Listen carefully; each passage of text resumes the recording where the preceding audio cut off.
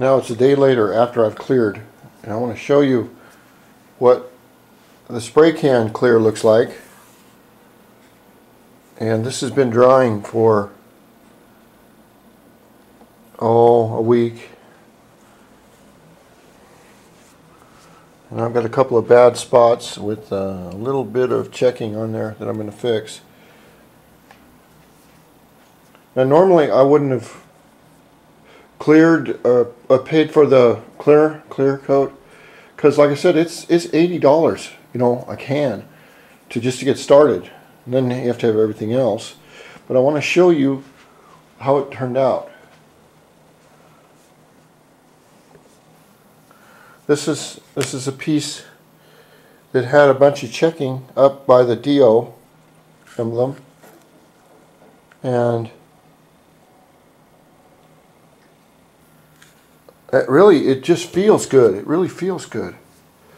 Here is um, the oil indicator right here, and look at that. Look at that clear. It, it, that clear is just that's two coats.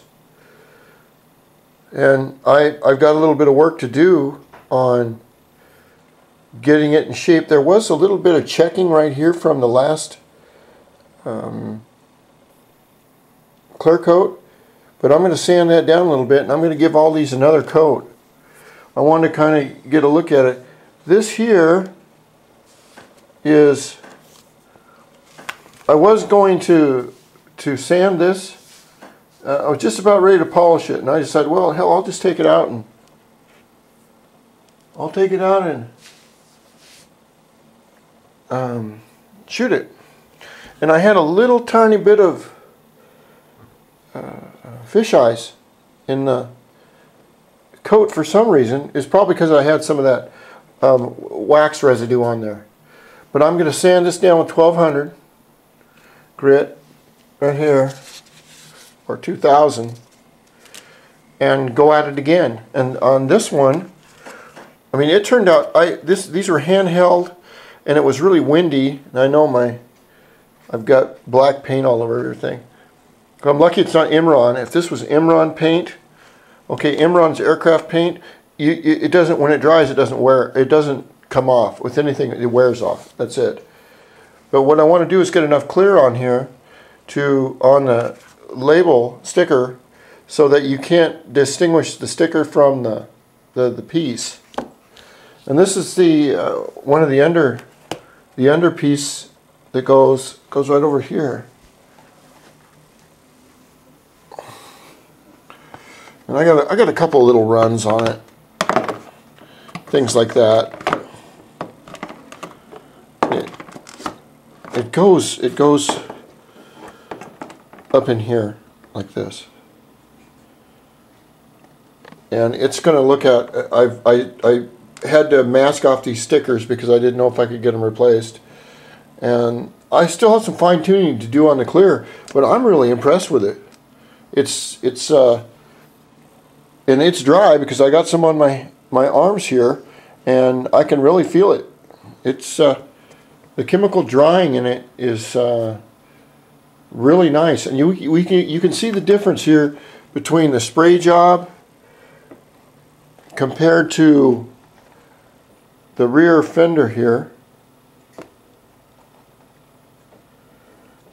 Just the quality of the urethane. Now since I usually don't spray things with my guns, not much anymore, now that I've gotten my first couple of coats on there, I kind of got a feel for it. So I'll sand down half a coat, get it just bitch smooth, and I will uh, put on probably another two coats, sand it down, and then then I'll polish it. All even even on the um, the back pack and the back uh, um, tail light or the deal that goes up here um, that's already done. I'm going to take that and clean it up really good. Put a little scuff on it, and I'm going to shoot it again. I'm going to take this off, and I'll sand it down just a little bit. And I'm going to shoot uh, I'm gonna shoot this with the with the urethane. I'm I'm real just really impressed. I shouldn't have shot it when it when we had all that wind out there. I got a little problem right here, but that's all right. I can fix that. I shouldn't have shot it with with the wind, but once you get started on it, you just have to keep going. You can't. It'd be nice to have a a garage or uh, someplace like my last shop to do it in. But you got to just do what you can do. And I'm really impressed. I'm really impressed. With this oil indicator, what I did, this did not have any kind of paint in it at all. What I did was I sprayed clear on it a couple times. Then I used a um, white nail polish, like a brush, and brushed in white and then let it dry and then I uh, sanded it down. And it worked, it worked out pretty good.